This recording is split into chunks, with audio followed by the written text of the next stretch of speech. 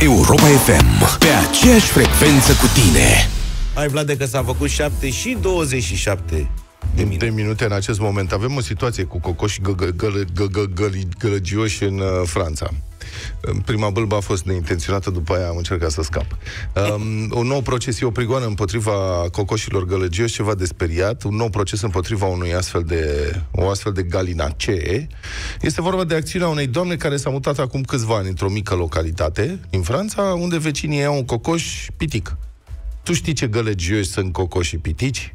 E o rasă sau e un pitic cu nanism? Nu mă, sunt, nu știu dacă au nanism. Nu sunt, cum să spun, n-au dizabilități, așa sunt ei mai mici. Sunt din rasa Rasă. Bantam, așa Coclet. se cheamă. A, Nu știu dacă e coclet, bre. Tu te-ai gândit imediat dacă se poate băga la cuptor. da, dacă e de pădure, dacă e de casă. Nu. Sunt niște cocoșei și niște găinuși mai mici, așa, foarte drăguți, decorativi și super gălăgioși. Pe cât sunt de mici, pe atâta scandal fac. și um, în acțiunea în instanță, reclamanta scrie că a, acum are deficit de sucru. Ea s-a mutat la țară ca să fie aproape de natură și să fie fericită și să fie liniște, știi?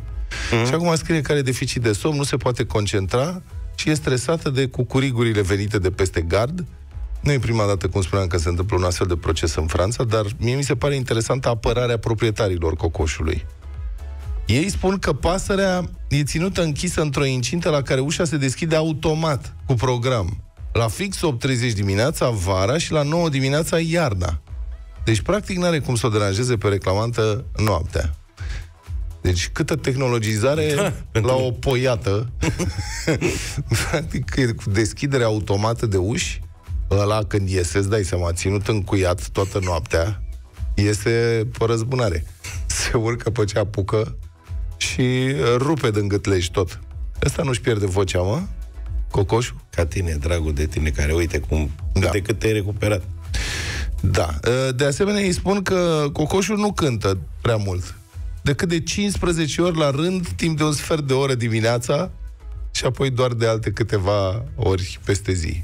Eu nu știu care e standardul unui cocoș Nu știu, dar mi se pare destul de intens. banal, Adică comun. 15 minute de 15 ori, practic o dată pe minut, el dă cu signalul. Știi cum face cocoșul pitic? Nu. În rasa Bantam. M-am documentat și avem colecție de cucurigu.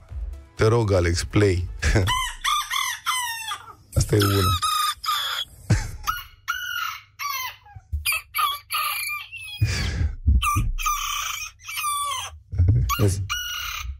Se simte că e pitic. Da. Observ că el nu are capacitate vocii pulmonară. Da. Da, el face pițigăiat așa, dar nu face cucurigu, că nu are suficient. Face Da. doar cucugu. Știi? Adică face numai, are numai trei accente, nu are patru. Că N-are riu. cocoșul nostru românesc adevărat face cucurigu. Băi, mari, dați punguța cu doi bani. Ăsta face cu cugu bani. Mai dă o dată să mai ascultăm nițel.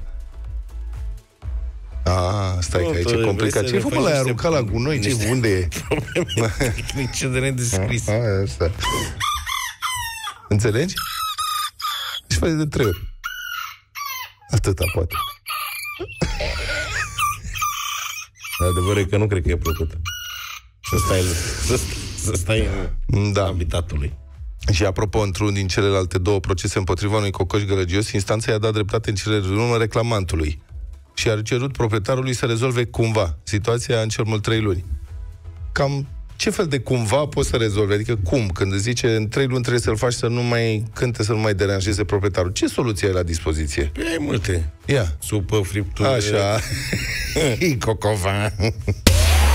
Europa FM, pe aceeași frecvență cu tine.